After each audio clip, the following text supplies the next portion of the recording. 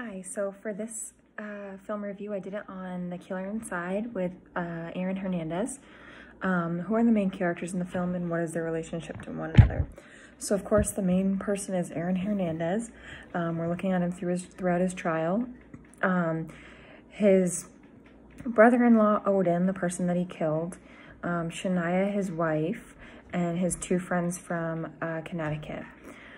When the film begins, how do we know the main character is happy, normal, stable? Well, we see him working um, on his football career on the Patriots.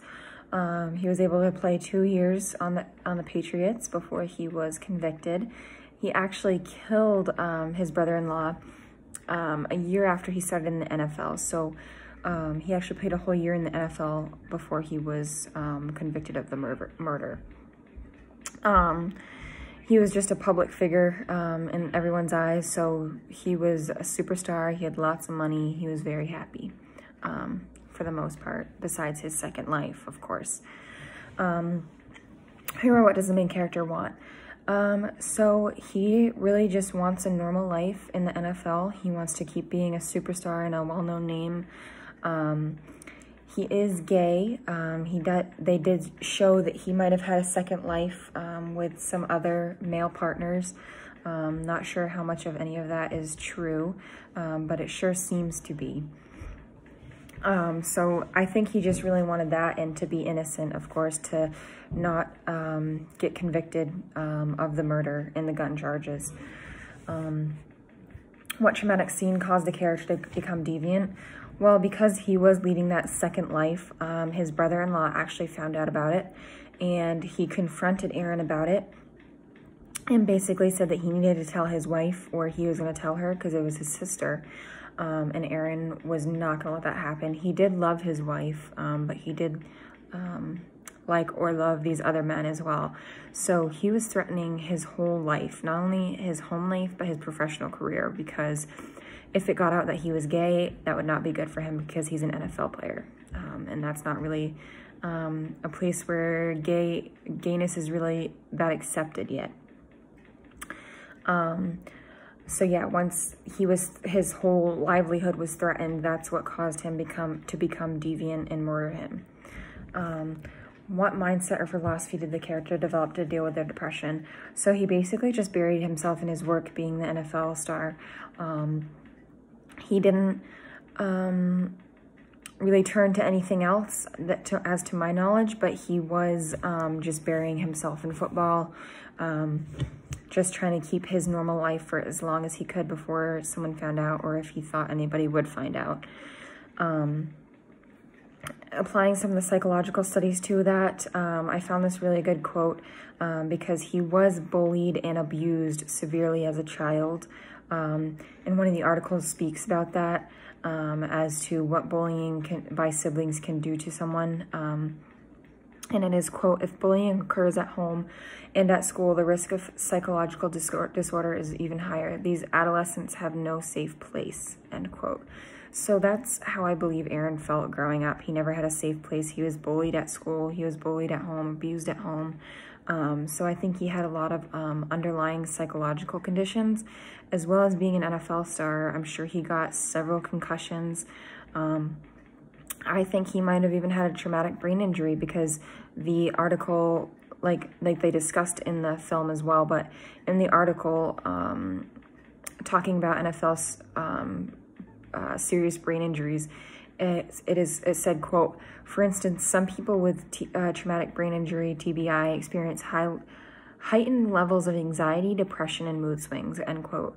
So if he uh, since he had um, tbi he could he was prone to having traumatic mood swings. So when his whole livelihood was flashed in front of his eyes by his brother-in-law it might have triggered a mood swing in Aaron and just he might have snapped and killed and killed him instantly, which he did. Um, and then he might not have realized exactly what he was doing at the moment, but afterwards he may have, uh, well, I'm sure he did, um, realize um, his actions and how they were not good. Um, as you see in the film, they have video surveillance from his house of him leaving the basement with um, what appears to be a gun. Um, so as soon as it happened afterwards, he went and tried to cover everything up because he knew he had made a big, big mistake. Um, but also another fact towards that is um, that same website, quote, 28% more are they're 28% more likely to develop bipol bipolar disorder as well, end quote. So um, if he had bipolar disorder, the same situation could have happened. Um, once he felt his livelihood was threatened, he could have flipped like a switch and just gone off the end. You know what I mean? So it's really hard to tell whether he really wanted to kill him or if he had one of these episodes and just acted um, without reason. Um, who are the victims of the criminal deviant? So, of course, the brother-in-law who was killed, Odin, um, but also the whole family um, of Odin's, his wife, his sister-in-law, um, the rest of their family. So, um, the whole family was grieving. Nobody was on Aaron's side besides his wife, which surprised me. Um, but she was still sitting in court by herself on Aaron's side at every trial date.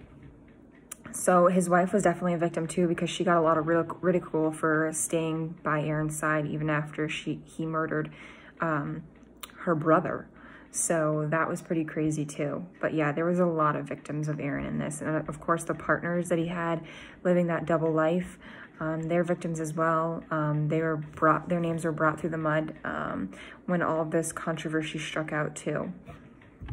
Um, and also Aaron because um, of course, he did kill his brother-in-law, but at the same time, he had a traumatic brain injury, so his actions may not have been um, him acting within reason. So he could also be seen as a victim too. Um, how does the filmmaker depict the victims of the criminal deviant? So um, they kind of go, they do a really good job of showing both sides from Aaron's aspect and his wife's aspect to the family and friends aspect. They interviewed tons of people um, talking about all all of this, and um, I think that they depict the the victims very well. Um, I think it was really cool how they interviewed both sides, and so we got both perspectives. It wasn't just a one-way um, street on that, which I found very helpful in um, letting me make my own decision about it um, who were the victims and who weren't. Did the victims of the criminal deviant um, demonstrate post-traumatic stress or emotional disturbances after being a victim? So of course, yes, they're they're hit with extreme depression. They lost a, a loved one, a family member. Um, of course, his sister, uh, his wife, I would say, is was the worst off because she wanted to stay by her husband's side, but at the same time, his her brother was dead.